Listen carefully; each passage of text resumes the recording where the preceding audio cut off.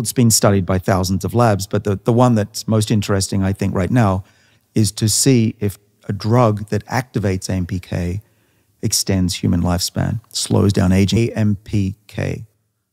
It's called AMP activated kinase. We want to activate AMPK. So how do you do that? Uh, you actually you eat less, you fast, and that'll turn on AMPK. It'll do a few things. It'll make your body more sensitive to your insulin, suck the sugar out of your bloodstream, which can be toxic if it stays high. But it also ramps up the energy producing centers of the body, these membrane filled bags, which are actually ancient bacteria living in our bodies called mitochondria.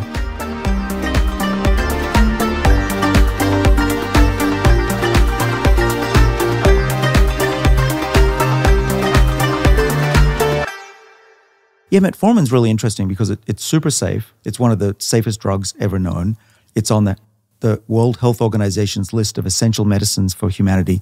In much of the world, it's it's costs pennies and you can get it. In those countries, they just want you to have it like aspirin.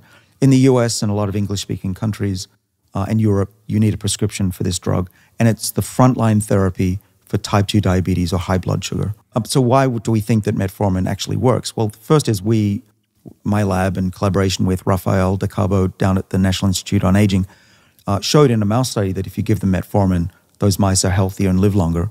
Again, doesn't prove that it works in humans, but you can take tens of thousands, and people have taken tens of thousands of people who are on metformin for type 2 diabetes and looked at their overall health and their lifespan.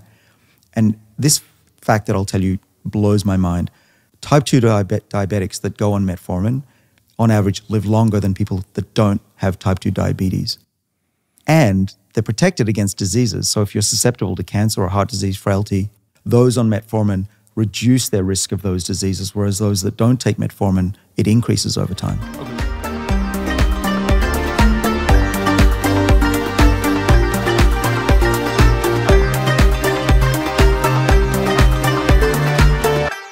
Based molecule from the bird plant uh, I believe it's from India by recollection. In any case, you can buy it. It should be bright yellow. Um, and it's been shown in my lab and others in animals to greatly protect against type 2 diabetes and works similar, similarly to resveratrol. Mm-hmm. And it's been shown in, in, many clinical trials now if you take a gram, um, and in many cases two grams, which is a lot, uh, it will help treat type 2 diabetes.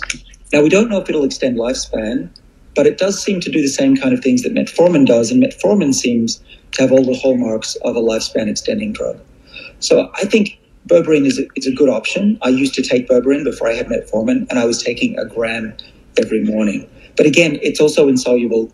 So think about the yogurt and the oil options as well.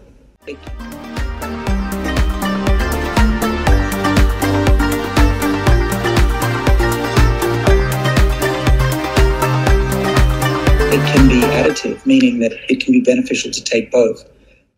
And again, you do that under your doctor's supervision, of course, because it's actually quite a strong combination. But it mm-hmm. can help if metformin isn't sufficient or berberine on its own is not sufficient to bring down your blood sugar levels or improve your overall metabolism, then the combination can actually work even better.